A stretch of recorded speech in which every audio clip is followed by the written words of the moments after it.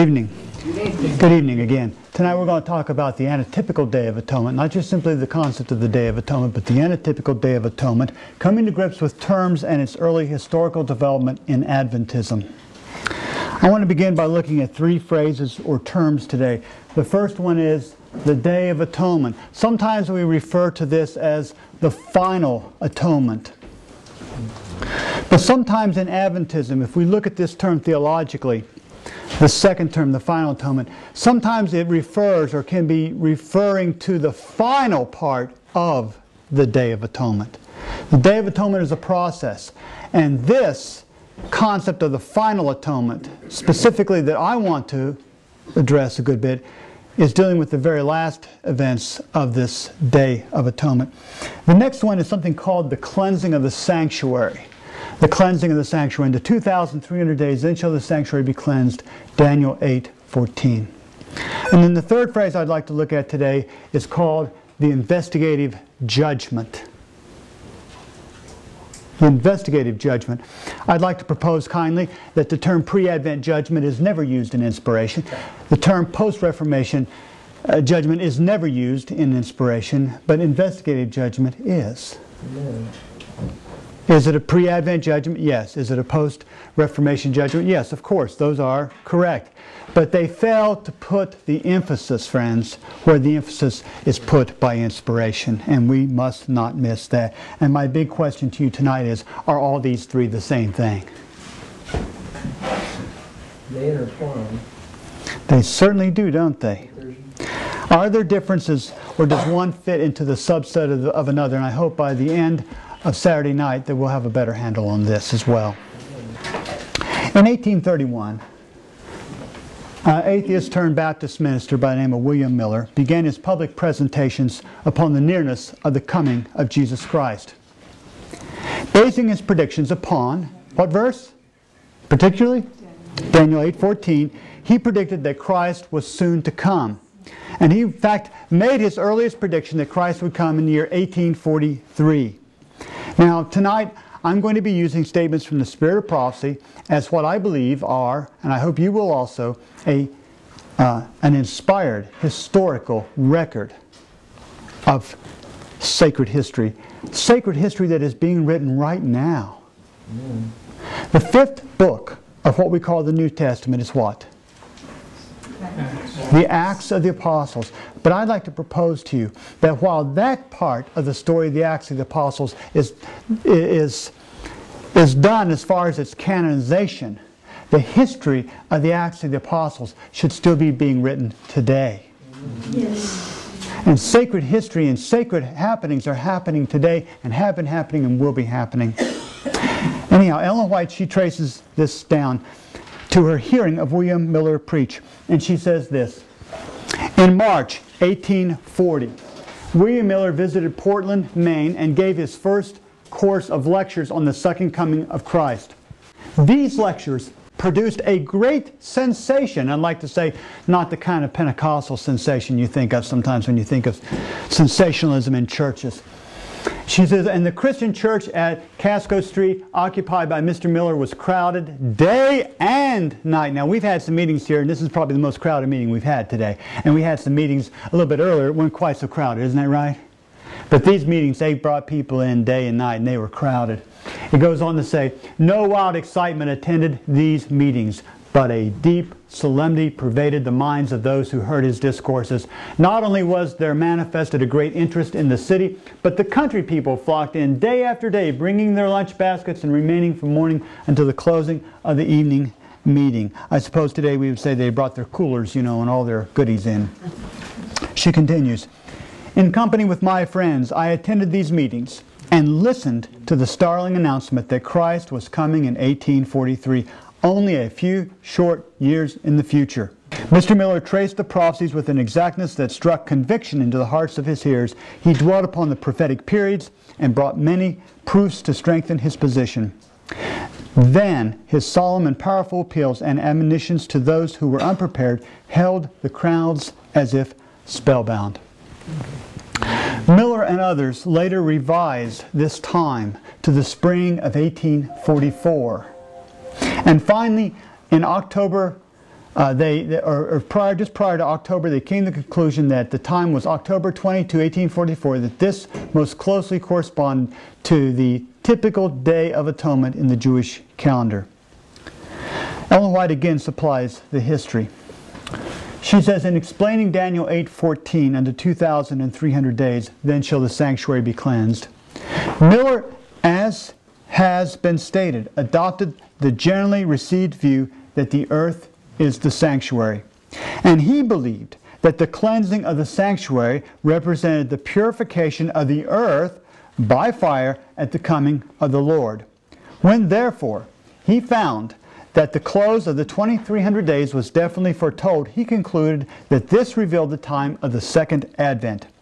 His error resulted from accepting the popular view as to what constitutes the sanctuary. Now, on October 22, 1844, there was what we today call the, the, this great expectation of Jesus coming, and it was followed by something we call the Great Disappointment. The great disappointment actually didn't happen until that night, but there was a great disappointment. And people began to look for other answers. And William Miller himself never progressed on that view of the sanctuary. But on October 23, 1844, Hiram Edson was inspired to consider that the sanctuary to be cleansed was not the earth nor any man-made temple, but rather the temple in heaven of which Moses had built a pattern. In fact, let's just turn to Hebrews chapter 8 for a minute. What chapter? Hebrews chapter 8. Sorry for not being clear. Hebrews chapter 8.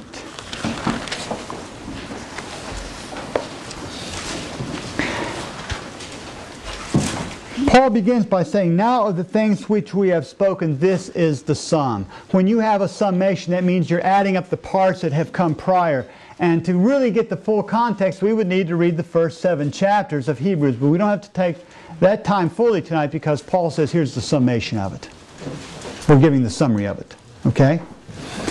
And he says, We have such an high priest who is set on the right hand of the throne of the majesty in the heavens a minister of the sanctuary and the true tabernacle, which the Lord pitched, and not man.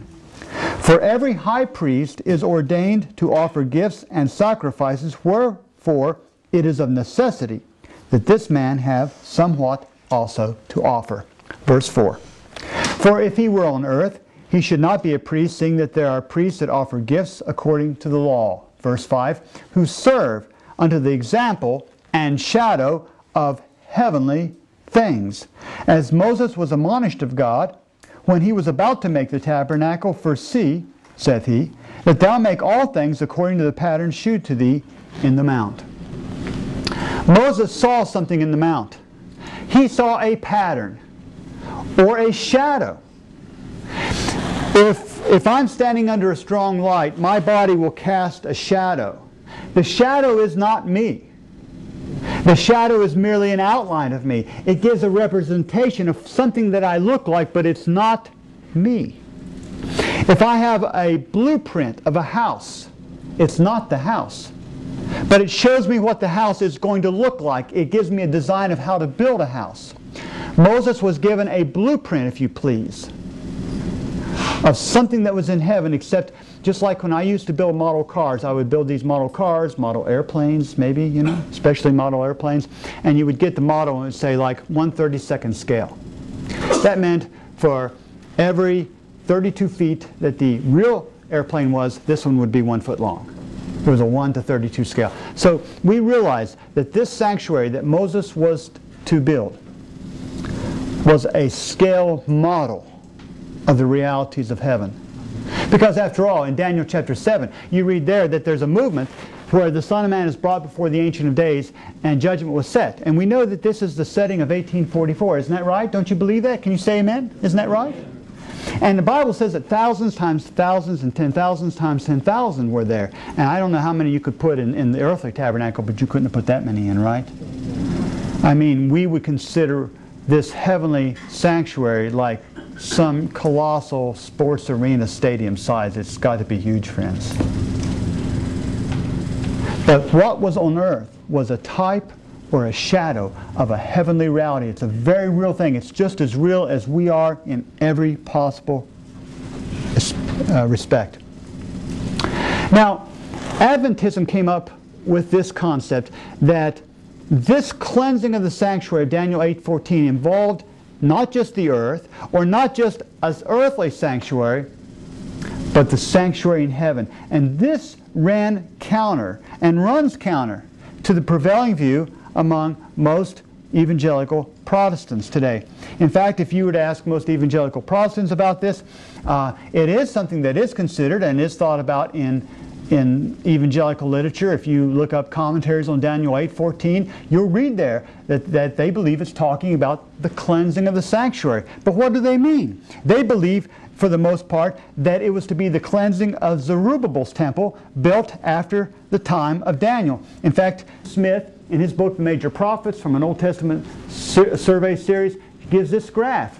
And he says that this cleansing of the sanctuary of Daniel 8, it involved the persecutions of Antiochus and the cleansing of the temple, the desecration that, that you can read about in Maccabees and, and in history. And this is just about 2,300 evening and mornings or six years and four months. Now you notice here, one thing is that they don't use the day for year principle at all, right?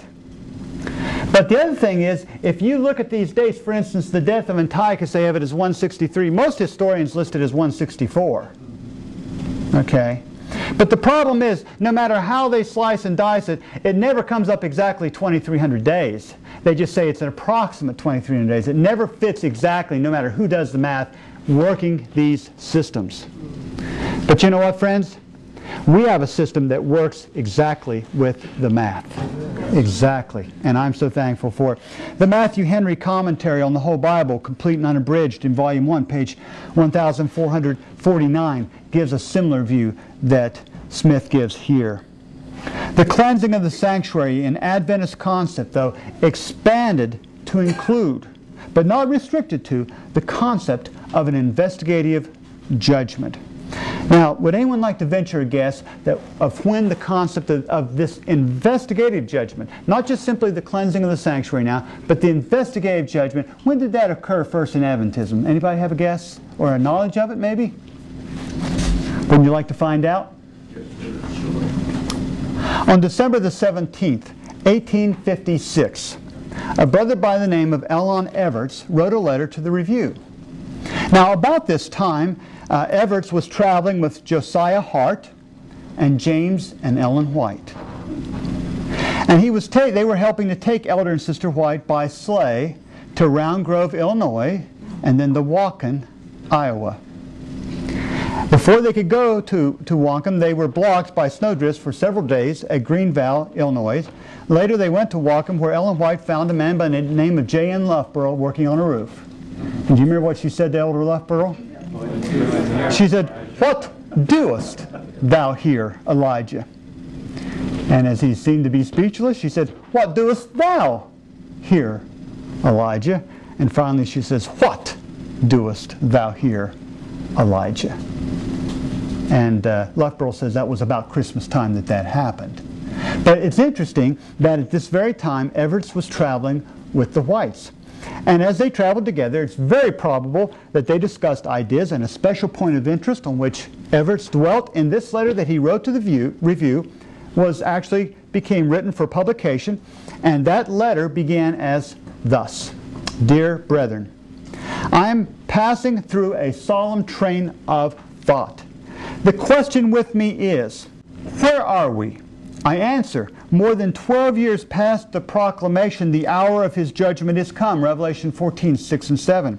We have been the same length of time in the cleansing of the sanctuary, Daniel 8, 14. And this is the letter that was published January 1 of 1857 at the review. Now remember, we noted that it was, uh, the letter itself was dated December the 17th. And then Elder White publishes it in the review and uh, Everts continues. He says, I inquire, what was the cleansing of the sanctuary under the first covenant? It was the day of judgment. What did it typify? The work in the antitypical sanctuary, which has been going on since AD 1844. Now, again, what is the antitypical sanctuary? Simply, the heavenly. It's the real thing. It's anti means it's against or not. It's not the type, it's the reality. Building upon this, Everts then stated the logical conclusion that, therefore, my dear brethren, believing that Christ will soon come, I inquire again, where are we? I answer, in the judgment of the saints. For Peter says the judgment first begins at the house of God. Chapter 4, 17. It appears that the order is that the righteous dead have been under investigative judgment since 1844. Elon Everts, Review and Herald, January 1, 1857. This is where we find this first concept of the investigative judgment articulated in Adventism. Now, who was one of his traveling companions in December? Elder White, that's right. So, arriving back in Battle Creek, James White wrote an editorial of four and a half columns, which he entitled The Judgment. And he published this at the end of the, of the month of January, on the 29th of January of 1857. And he used copious Bible verses to substantiate his position, and he dealt broadly with the subject. And let me just share with you some of what he wrote. It appears that the saints are judged while some are living and others are dead. To place the investigative judgment of the saints after the resurrection of the just supposes the possibility of a mistake in the resurrection. Hence, the necessity of an investigation to see if all who were raised were really worthy of the first resurrection. But the fact that all who have part in that resurrection are blessed and holy shows that decision is passed on all the saints before the second coming of Christ. Now let me just pause a second. Where in the Bible does it call those people in that resurrection blessed and holy?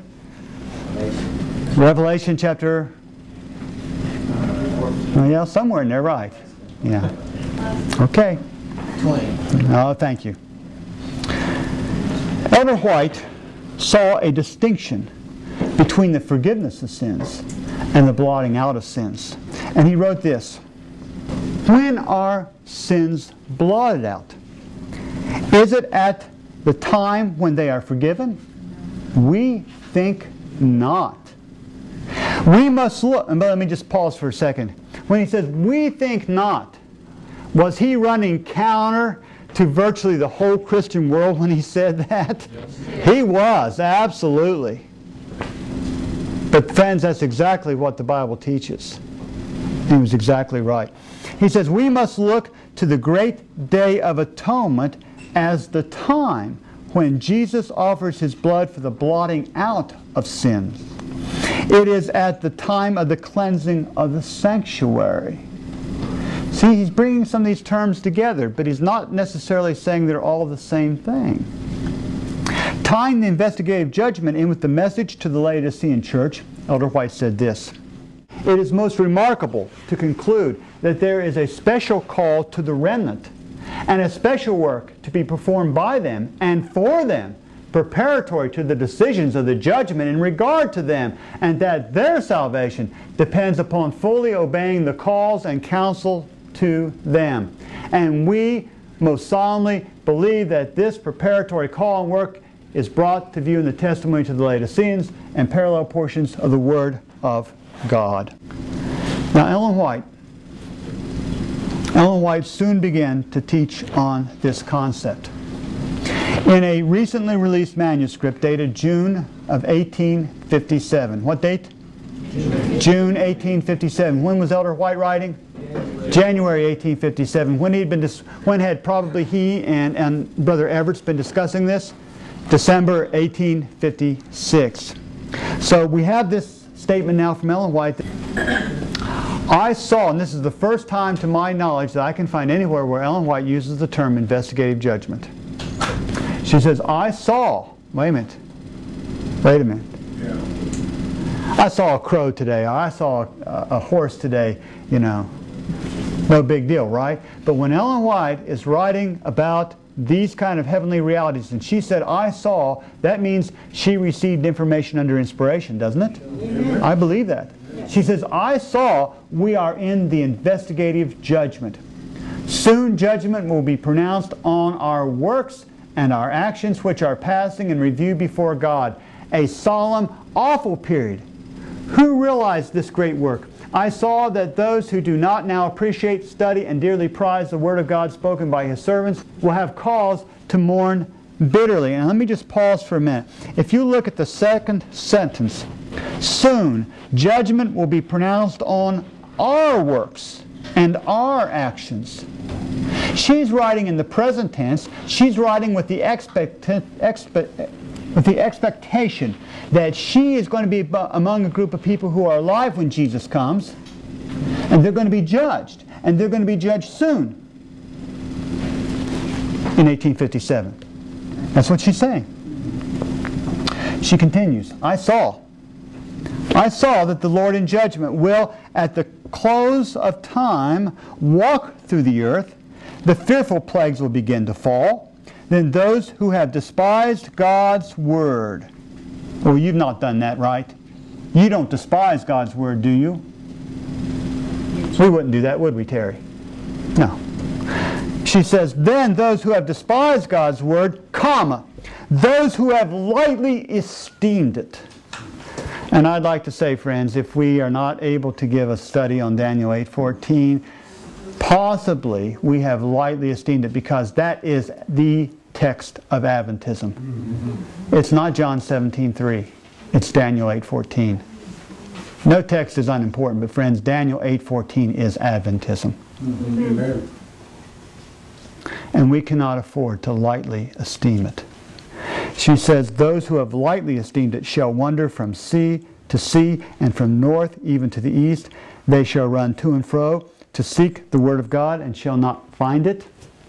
A famine is in the land for hearing the word. Remember in Hosea chapter 8, 11, he says that there is a famine. She says the ministers of God will have done their last work, offered their last prayers, shed their last bitter tear for a rebellious church and an ungodly people. Their last solemn warning has been given. And this is what Ellen White wrote in the year 1857. And she was writing with the possibility that she and others living at that time were going to be part of this judgment while they were alive. Isn't that what she's writing? The language is clear. Now, in her book, The Great Controversy, Ellen White connects the investigative judgment with more than a judgment in heaven, with the records of the sins being removed, but also from the removal of sin from the soul temple. Because it's not just enough, friends, to have a record changed. It doesn't change the reality of a person just to change their record. I might have a student in school, and that student makes failing marks all the way through, doesn't learn his lessons. But he goes and he takes a, a, an eraser, and he erases the grade, or he changes the F to look like an A, and he has a different grade but he has, doesn't, have, he doesn't have a different mind. He hasn't changed his learning in any way. And just because a record can be changed, friends, of itself, doesn't mean our hearts are changed.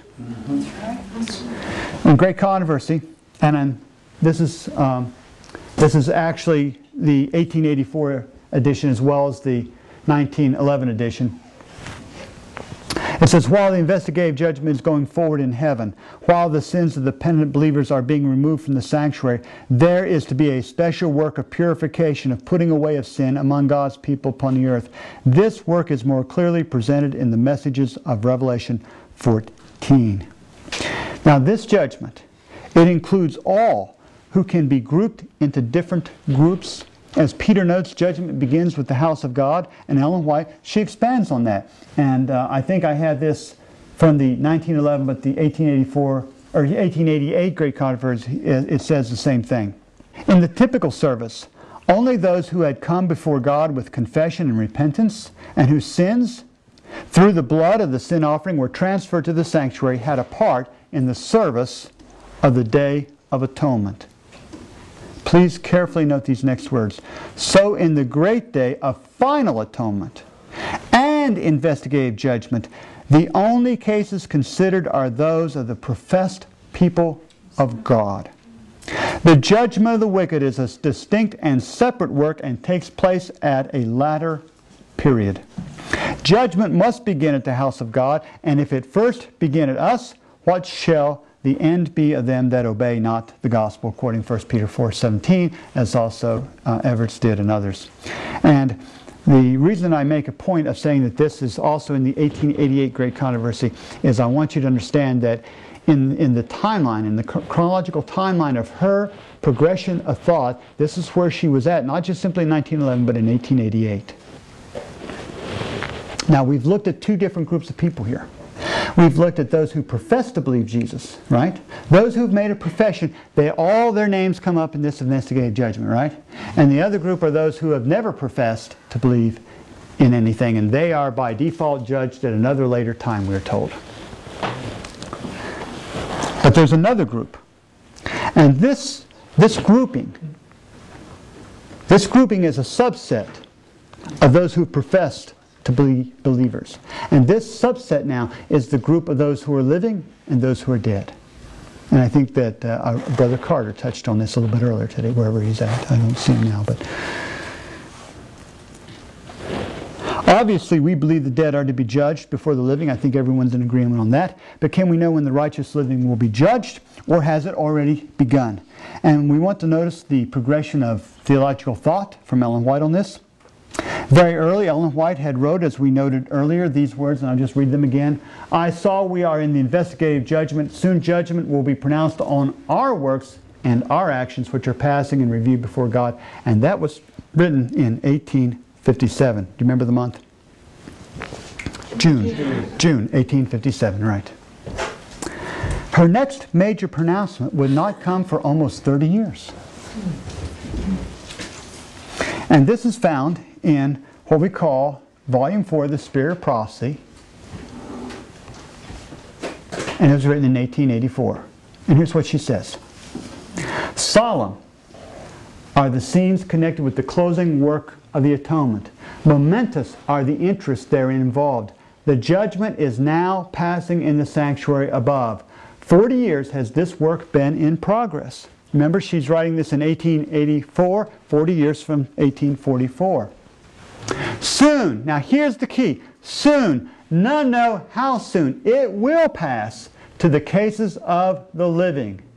In the awful presence of God, our lives are to come up in review.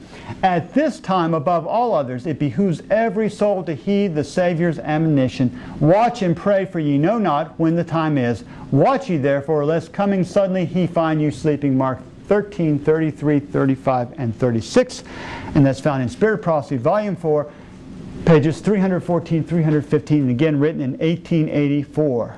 She says, Soon, none know how soon, this judgment is to pass from the, the dead to the living. And she says, Therefore, it behooves every one of us, every soul, to heed the Savior's warnings.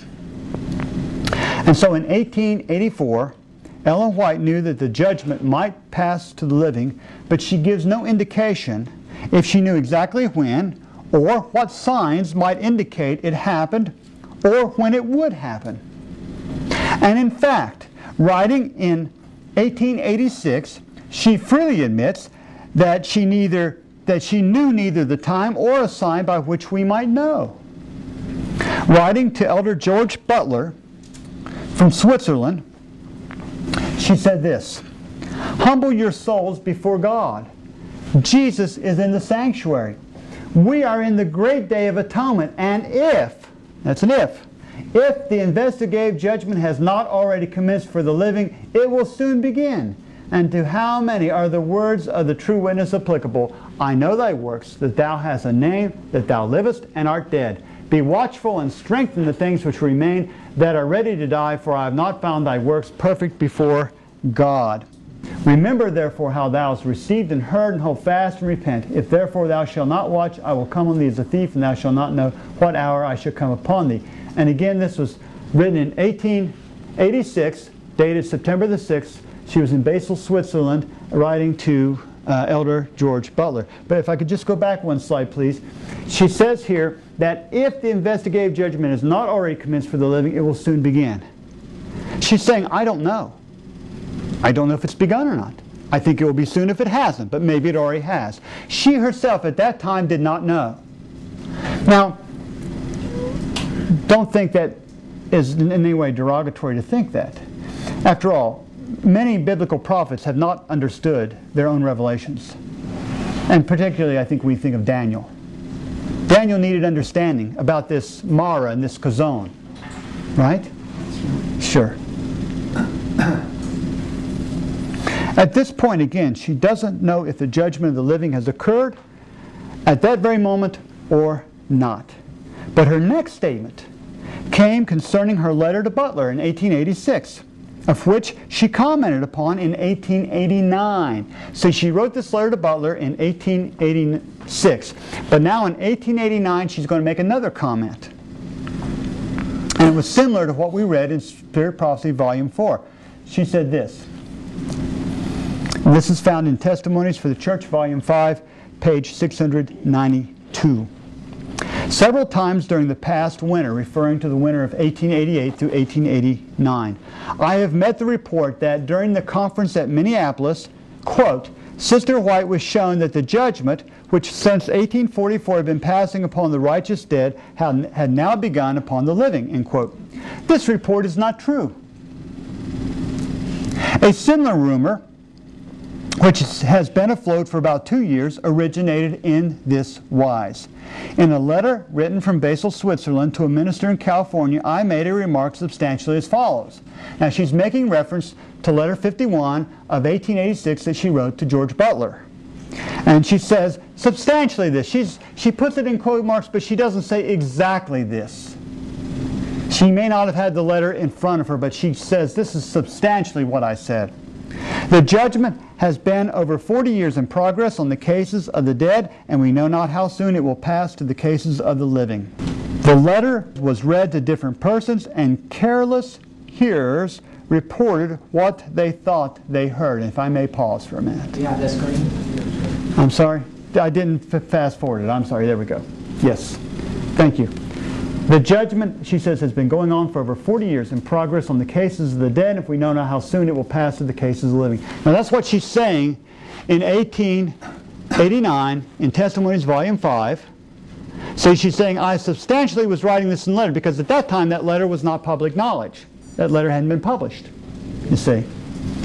And uh, she says the letter was read to different persons and careless hearers reported what they thought they heard. And this is what the part I want to pause on. Thank you for giving me the advance that, by the way. How oftentimes do we carelessly hear something? And then all of a sudden, you know, doctrinal fact goes out. you know, or personal fact goes out.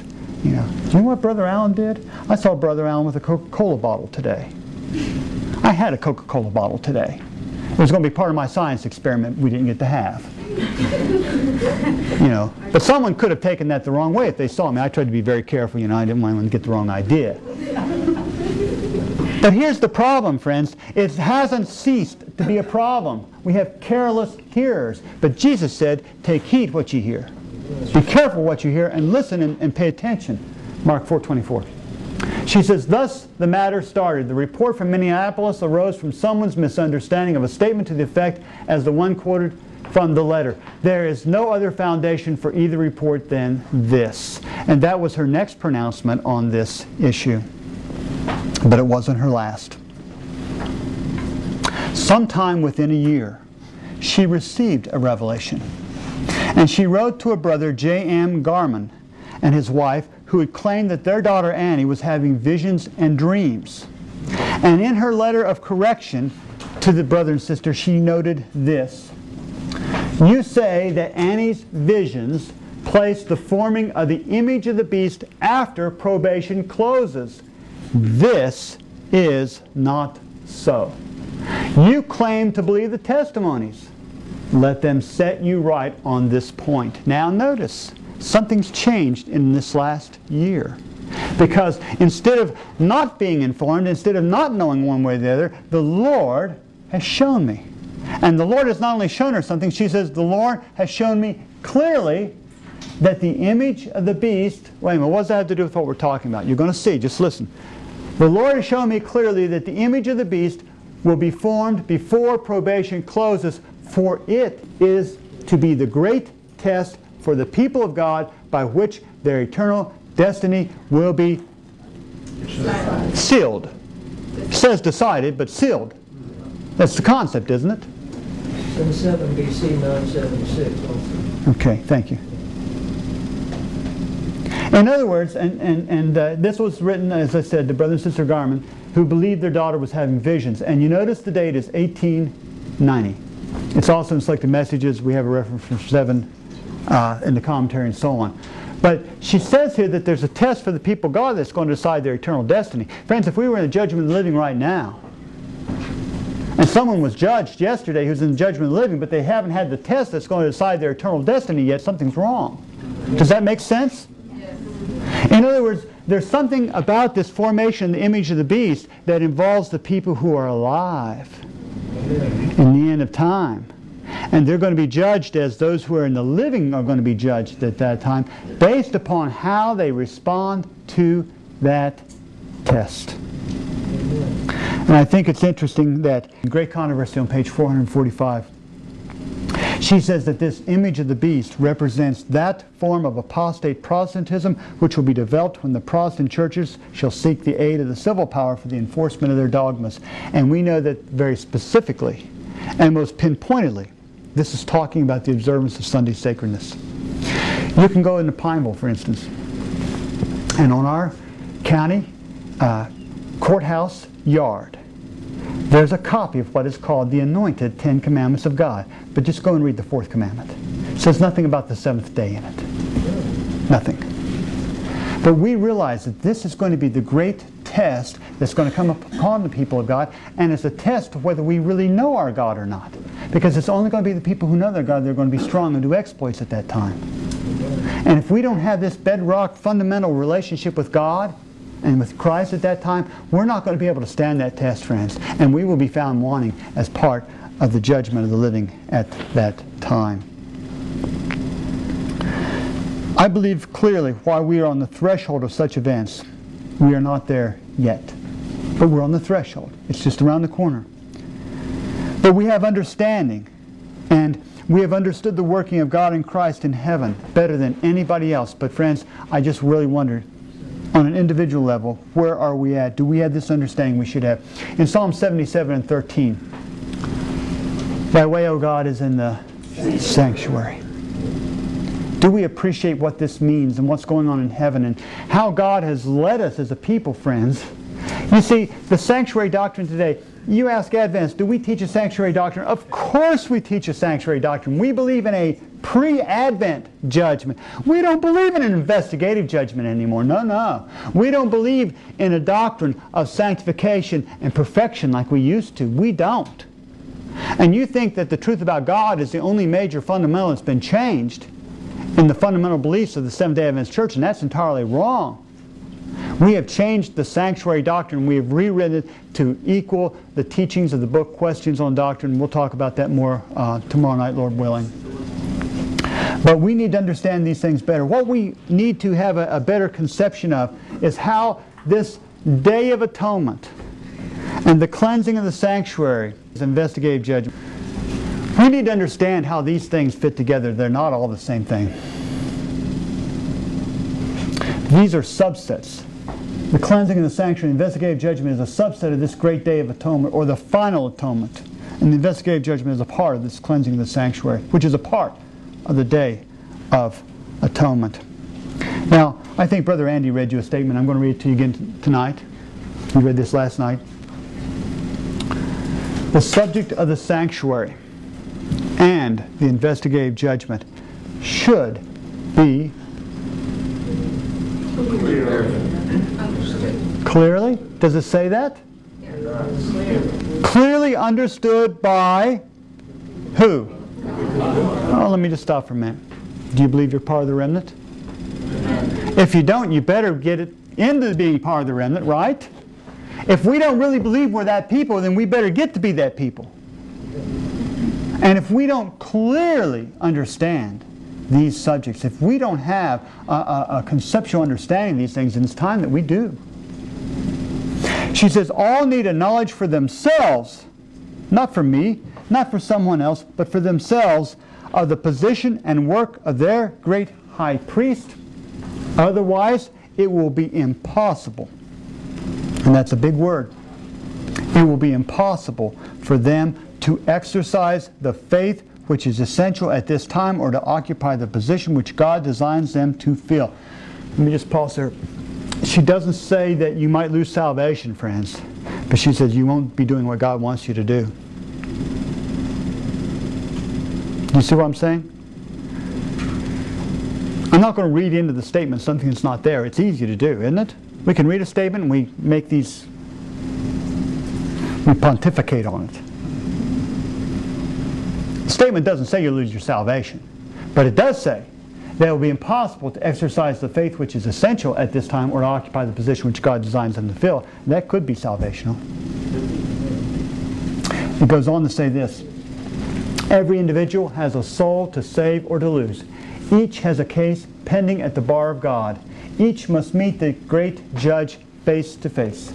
How important then that every mind contemplate often the solemn scene when the judgment shall sit and the books shall be opened, when with Daniel every individual must stand in his lot at the end of the days.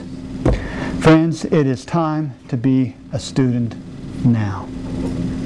Because remember, we read earlier that those who have despised God's word, well, we haven't done that, we said. But those who have maybe lightly esteemed it shall wander from sea to sea and from north even to the east, and they shall run to and fro and seek the word of the Lord and shall not find it. And so, Brother Allen, you don't know how many of those newsletters I get, and I read them all. You don't know how many of those videos I download, and I watch them all.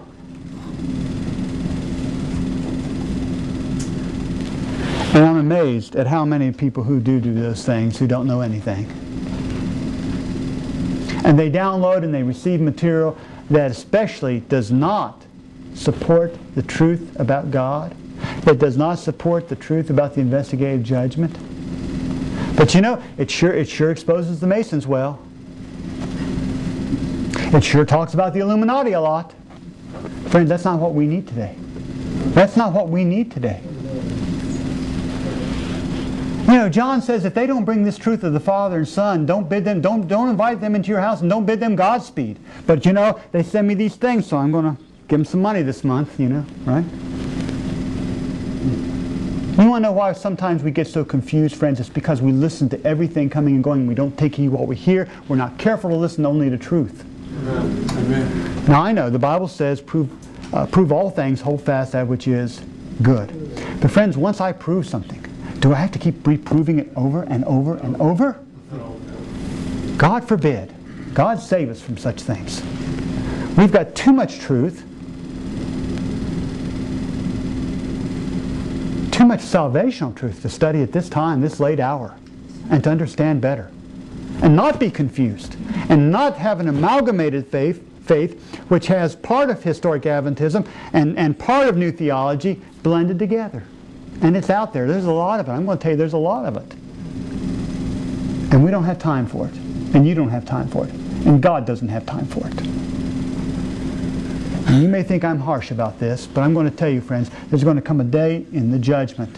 And it is coming soon. And the judgment's going to pass to the living because we're going to be tested in a way we've never been tested before. And if we're not ready, you kiss a goodbye, friends. Kiss a goodbye. We're going to find out how cheap we sold out for.